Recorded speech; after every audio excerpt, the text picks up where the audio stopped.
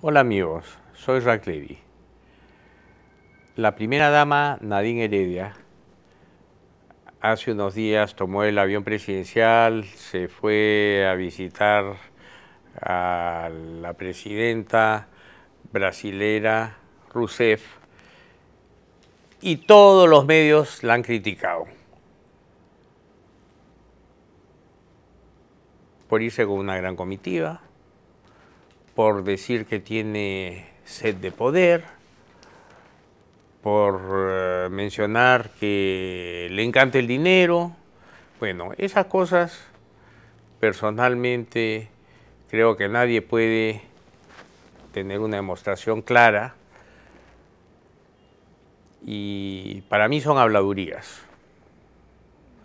La realidad, lo que importa es que la relación entre dos mujeres nunca será como la relación de un hombre a una mujer, de un presidente peruano a una presidenta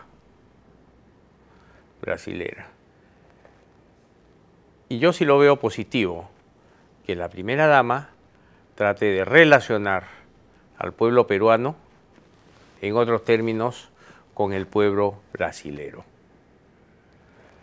No olvidemos, amigos, que Brasil ha combatido con mucho éxito la extrema pobreza y todos sus programas sociales, muy monitoreados, están haciendo que gran parte de cada dólar invertido llegue a su destino final.